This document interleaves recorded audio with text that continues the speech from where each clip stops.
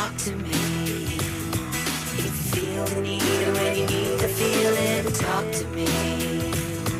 If you feel the need or when you need the feeling, talk to me.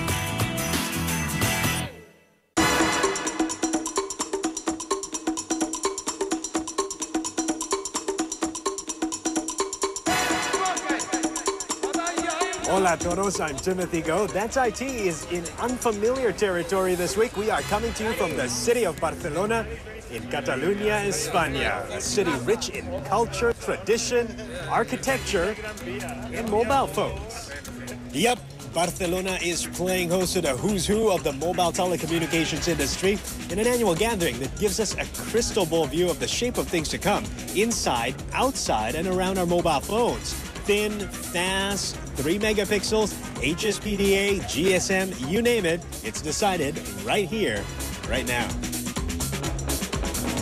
Ironically, at this time of the year, mobile phone circuits get overwhelmed in Barcelona.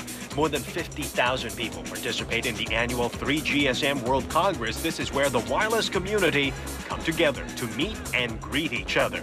But more importantly, this is the event where mobile phone makers and service providers are put on the spotlight for the world to see. I've been wanting to attend this event for some time now, given my passion for looking and touching beautifully made mobile phones. And there are no shortages of those in Barcelona. I promise to show you more a little bit later on in the show. This year, I was given the opportunity to rub shoulders with a who's who of the mobile telecom industry, and I didn't miss it for the world. The 3GSM is the mother of all mobile telecom conventions where trends are forecast and decided on. Movers and shakers from all over the world are represented here.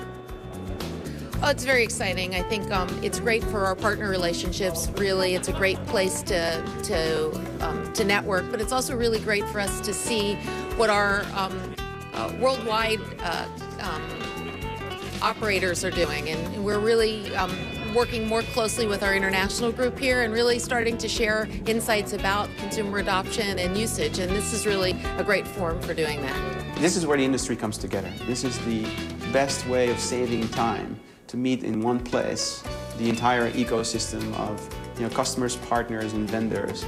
So it's very efficient for executives to be here and meet with each other, get deals done, but uh, also learn new trends and most importantly, learn about new services that we can launch in the market. Well, typically, people really look at 3GSM for what announcements have come out.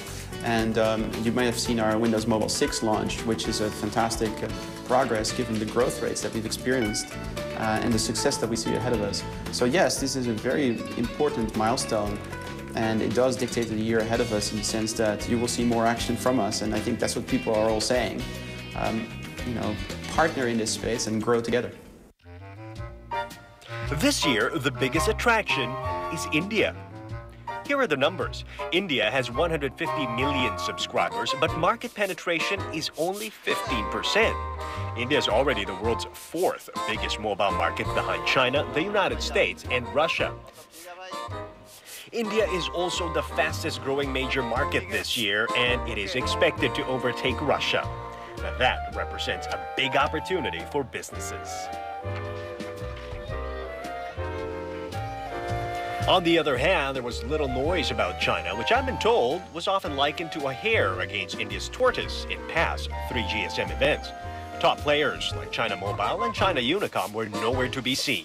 The world has been waiting for the Chinese government to award 3G licenses, but so far it's not happening. And what is the buzzword in Barcelona? Convergence. It is touted as the mobile model of the future, but is it as good as it sounds? By simply looking at all the new handheld devices that run mobile TV, music downloads, and video cameras, one would be forgiven to think the age of convergence is finally upon us. Maybe it already is, because at the 3GSM World Congress, industry guys seem to be talking more and more about closer ties with the entertainment sector. This is not the first time, of course. We heard the same buzz at the CES in Las Vegas. And it seems like service providers don't have much of a choice because it's a strategy for profit. And consumers don't seem to mind. Surely I don't. The industry of mobile communications is fundamentally changing a lot. Um, there's a lot of trends in convergence, of course, of uh, the traditional telecommunications world of voice and data services merging with uh, social networking uh, phenomena and IP networks, which allows much more user-created uh, content to emerge. And I think in the, in the future, what you'll see more and more is that telecommunications companies, and particularly the current service providers in, in Asia, are not just activating new subscribers, they need to rapidly launch many more new services in the market. And they need to do that because their margins are under, under pressure, and they clearly are, are, are under shareholder pressure to grow their, their top line as well as their, their bottom line. So they look for partnerships. They look for partnerships that allow them to um, create new consumer services, new business services, and particularly leverage their existing networks, whether it's fixed or mobile networks. That doesn't matter so much anymore. It's really the convergence of that Web 2.0 infrastructure with the telecommunications infrastructure together. So there's a dramatic change ahead of us. But insiders I spoke with all confess a lot of work has yet to be done before we can really have seamless interactivity on our phones. But rest assured, work is underway to make our mobile phones switch tasks from phone calls to instant messaging to watching TV and listening to your favorite music.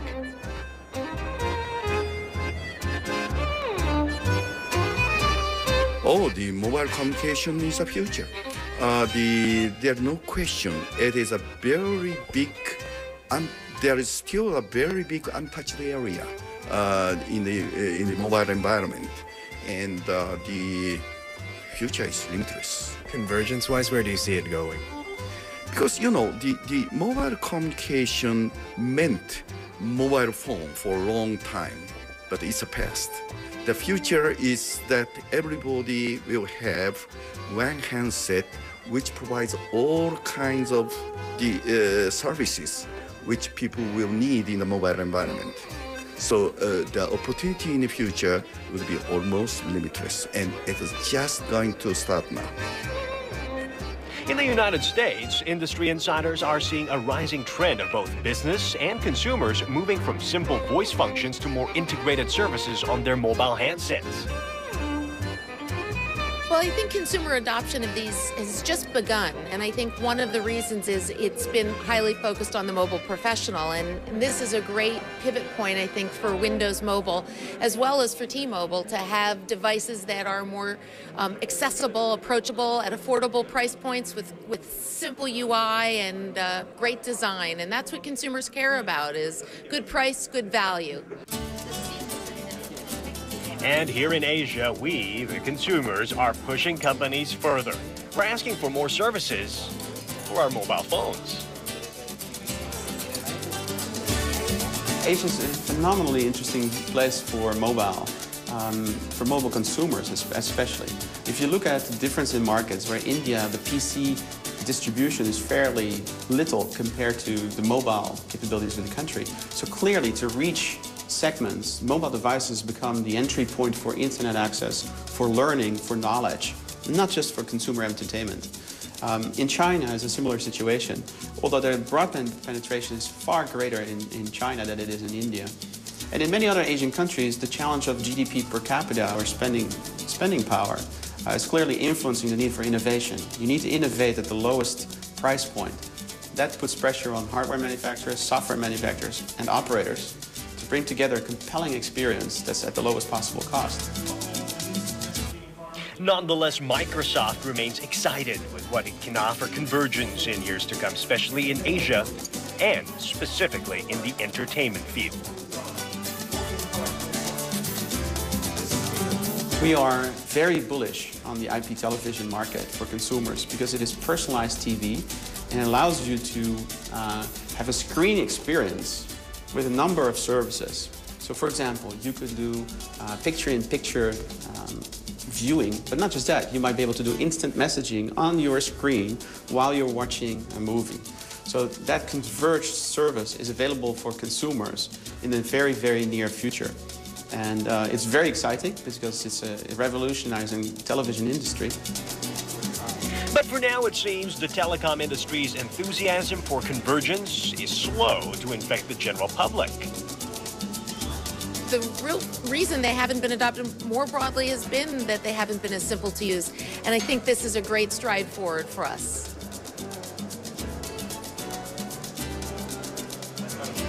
How much our mobile phones can do really depends on how much we can multitask. The more we can do, the more our mobile gadgets can do for us. That's IT in Barcelona. We'll be right back.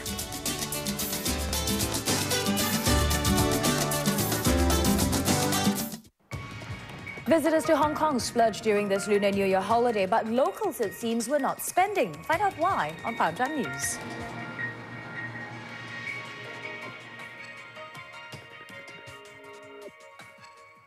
Okay, bye.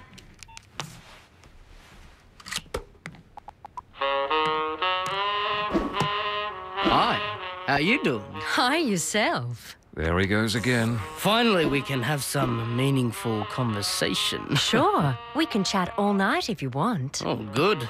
Let's get comfortable then. Oh, great. Well, he did say he wanted to talk all night. To enjoy unlimited mobile calls from home, connect to Singtel Mio. Connect to Singtel Mio Mobile for as little as $15 per month and enjoy unlimited mobile calls from home with these phones, including the new Nokia E65. Mio. In this new season of Who's Who in China, 喜欢不喜欢跳舞？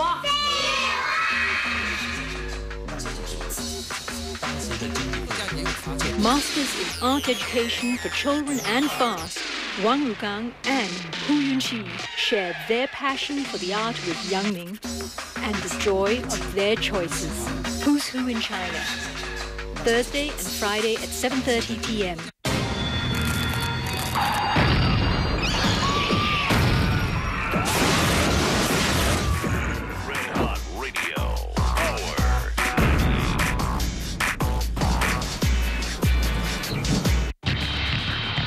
They are men with a mission to protect and preserve their country's peace. The Singapore Armed Forces. Drop in on their biggest and most extensive air-land integrated exercise to date. See how they train their people for battle and find out about some of their weapons of warfare. Concept to capability. Tuesday, 27th February at 9.30 p.m. on Channel News Asia. To me. That's IT is in Barcelona this week for the 3GSM World Congress, and I know for a fact many of you out there decide on your mobile phone based on the overall look. Whether it be slim, candy bar, flip, slide up, what's sexy is really up to you, but have you ever thought of the software that runs the applications inside our mobile phones? In order to experience true convergence, we require something fast yet simple. Hardware manufacturers are trying their very best to pack in more features into a more compact phone. Now, software is also moving forward to offer a friendlier user interface. After all, it is the interface that we have to navigate constantly to get to the functions and services we require. Microsoft launched Windows Mobile 6.0 in Barcelona to meet the challenge. The smartphone operating system now gives us the closest possible PC experience right in our smartphones. And it incorporates all that is great about the PC version of the Windows Vista. Too good to be true? Well, I ask around to find out more from the people behind it. What we've done is done a whole bunch of things that make it easier for customers. We've added richer email, so you know you can do things like you can now go in here and see all the fonts and colors that your email is meant to have. So if I go in here, you can see I've got pictures in my mail, I've got bold, I've got italics, really rich experience. So just like how it is if you get that email in your PC. Exactly. In fact, our research shows that roughly 80% of the email people send in the world is HTML mail. So having HTML on this device is bringing back the richness into the mobile experience. So it's great. Okay, apart from the uh, mobile worker, though, who else are you targeting this platform for? Well, great question. One of the things we've done with this release is we've integrated support for Windows Live into Windows Mobile 6. Windows Live has over 200 million customers around the world using free live mail, using live messenger. We've integrated that right into the device. So now on my home screen, I can use live search to search the web easily. I can go in here and contact all my buddies in live messenger. And I can even go in here and get live mail and use HTML mail with live. Okay, I'm almost sold, but I got some specific questions to ask.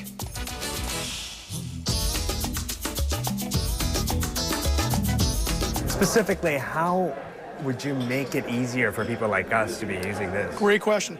We've done a whole bunch of things. Everything from changing which buttons are displayed. So for example, when you're going through mail, we actually make delete the default key because that's the thing most people do.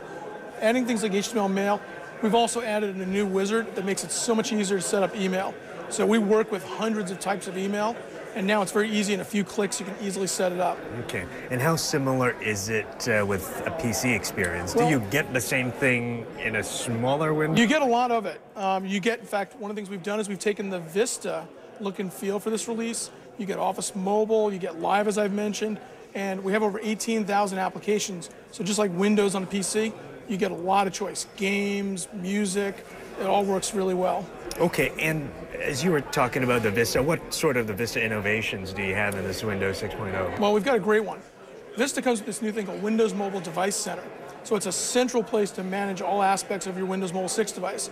I can manage my email, my calendar contacts, and music and pictures. So for example, when I plug in a Windows Mobile 6 device to Vista, it treats it like a camera. So if I've taken new pictures with my phone, and most phones have camera, what'll happen is Vista will automatically tell me I've got new pictures and offer to move them over for me. Um, one of the nice things I should mention we've added is we've also added a big customer request. You can now actually send contacts via SMS, which is something our customers in Asia have all been asking for for, for a couple of releases. Convincing. But are service providers really satisfied with what the Windows Mobile 6.0 can offer their customers?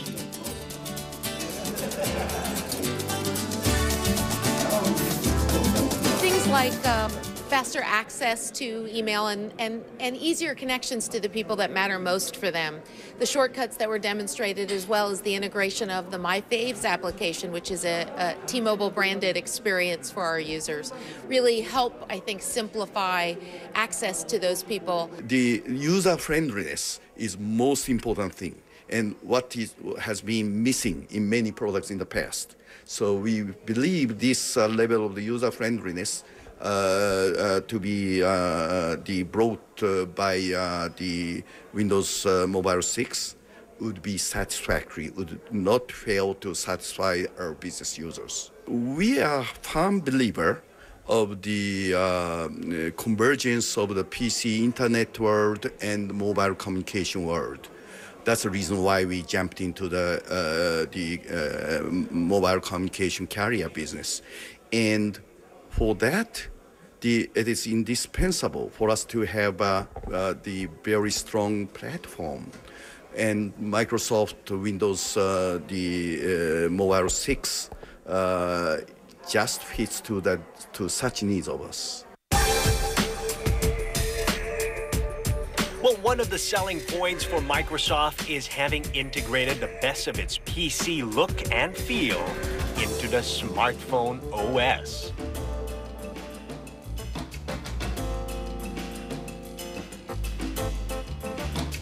Our focus since we started was to think about a consistent platform. We really feel that that kind of a consistent platform is what's going to enable uh, development of great applications and services. With Windows Mobile, they see those same things, whether it's a start button that opens up certain menus, whether it's opening up an email and it looks similar to what's on your desktop. So we think that we've taken those experiences and made them consistent, and that's why it becomes so easy for people to very easily use our products. So it's exactly the same as what I get in my PC. It's not exactly the same. Obviously, with a smaller device with a smaller screen, there's certain changes that have to be made, and we've thought about that. But the idea was to get as consistent as we could, so again, it became simple and easy for people to use. It is Karen's responsibility to make the Windows Mobile 6.0 look good, so she's giving us the highlights of the phone. She's just doing her job. Well, we took our cameras outdoors to find out what real people here in Barcelona have to say about the innovations announced in their own backyard. La persona profesional está buscando sobre todo que tengan aplicaciones de Symbian o Windows Mobile para poderle poner diferentes aplicaciones, tanto de oficina para poder leer documentos, como también un GPS, un callejero, o sea, para tenerlo todo en el móvil desde el punto de vista. Y el iPhone, pues bueno, ya es como que un nivel más avanzado, el, el, el próximo paso en móviles, ¿vale? lo que es la maniobrabilidad y la facilidad de poder manejar un móvil simplemente con las manos. Ya ni siquiera tienes que tener el puntero para poder manejar el PDA, sino que simplemente con las manos lo puedes hacer. Además de la implementación, es simplemente tener el ordenador en la mano.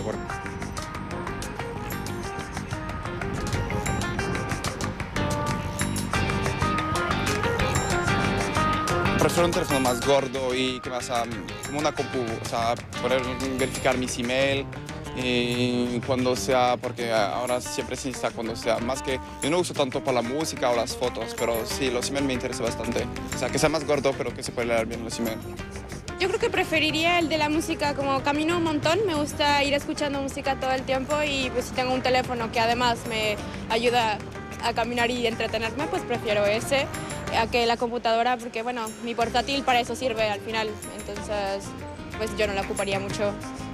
I must admit, I am not a smartphone user myself just yet, but after seeing how much smarter they've become, I might just consider. In the meantime, I will stick to my passion of collecting beautiful mobile phones. They're coming right up. We'll show you the sexiest mobile phones released here in Barcelona.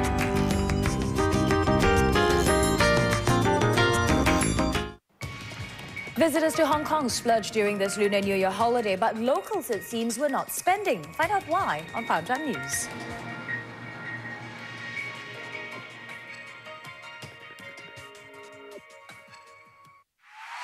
NTUC Income, together with 938 Live, organised an investment outlook seminar at Suntec City. The seminar attracted nearly 400 people. It offered insights into the current investment climate and discussed the issues facing investors. It's always good to have uh, up-to-date information uh, to improve your own personal strategy. I still believe in the in the, in the fund for the NTUC, especially the combined fund is very diversified.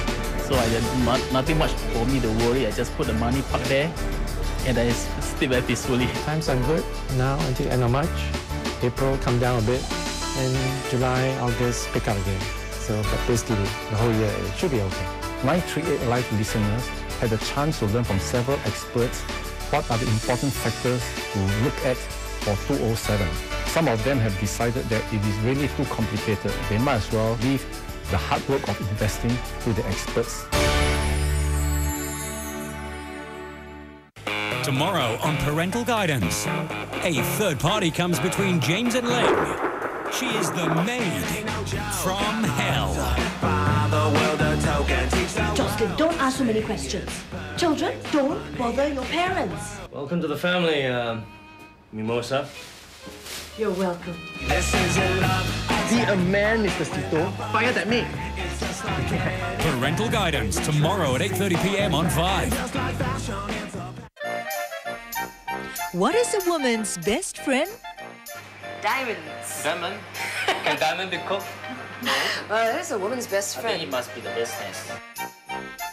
Bird's nest, American ginseng, and other herbal gems. From classic recipes to exciting new interpretations with Cheryl Fox and Chef Thomas Chai on Herbalicious Thursday, 8.30 p.m. This program is brought to you by Eu Yan Sang. Talk to me. That's IT is in Barcelona this week. Mobile phone manufacturers are investing heavily on the design and the overall look of their phone. Form factors, as they call it. Now, if you asked me two years ago what phone to buy, I'd tell you it depends on your needs. Ask me that same question now, and I'll tell you go out and buy whatever suits your outfit. Coming up now is a bird's eye look at the latest, flashiest phones released here in Barcelona.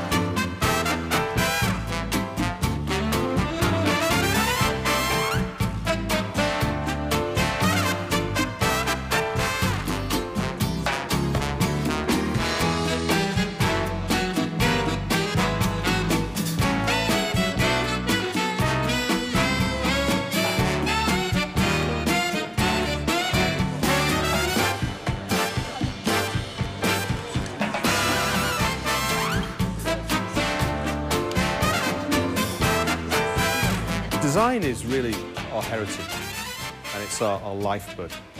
And we really think about design, we think about form factor, and then the colour, the materials, the finishes, because when we do our consumer research and our insights, what we found is that consumers want great design. Slim, good-looking, portable. But at the same time, what we also learned is they want to have great experiences. And now that we've learned all about the software that runs the applications inside our smartphones, it's time to have a look at the hardware released here at the 3GSM Congress in Barcelona.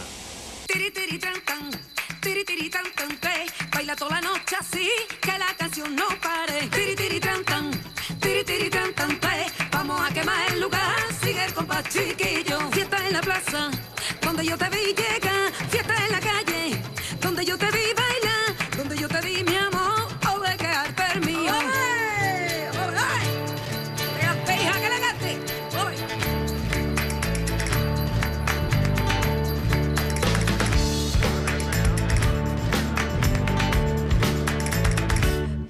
fiesta, vete pa' la fiesta, sí, donde la canción más brilla y el corazón palpita.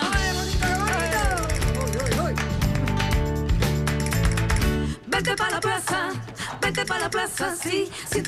Ah, look at the time. It really zooms by when you're having fun. Time has its way of pushing you forward, just like the mobile telecom industry, doesn't it? Well, my next destination is unknown, but at least I know which phones I'm going to get my hands on this year. Yes, phones with an S. But for now, it's adios y hasta el próximo semana. I'll see you next week. That's it.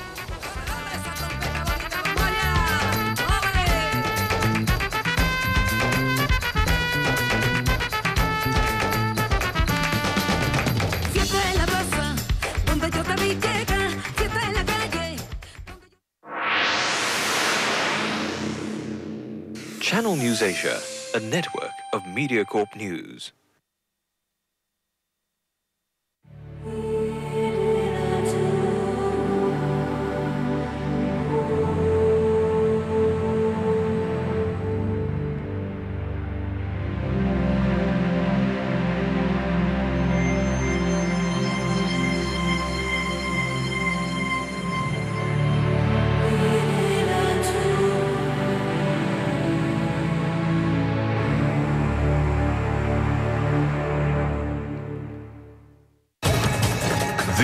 Is Channel News Asia.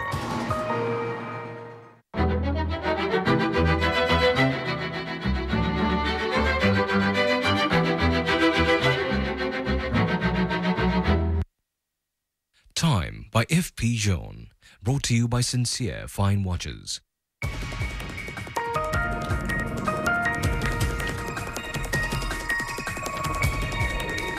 Good evening, everyone. I'm Melvin Yong. And I'm Glenda Chong. You're watching Primetime News on Channel News Asia. In the headlines, a pullout from Iraq. Britain says its troops in Iraq will be cut substantially in coming months. The U.S. Vice President Dick Cheney vows America.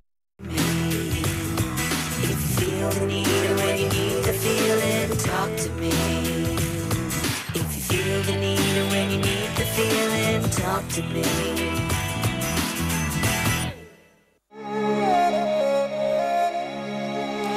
Korea, land of the morning calm. But the calm breaks once you mention digital electronics. Hello, everyone. I'm Timothy Go, and this week on That's IT, we take you soul searching on the streets of Seoul.